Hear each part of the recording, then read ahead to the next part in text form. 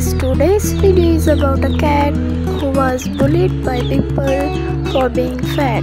Then how one day he became a cute handsome boy. If you like more interesting videos like this, don't forget to like, subscribe and share. So let's get started.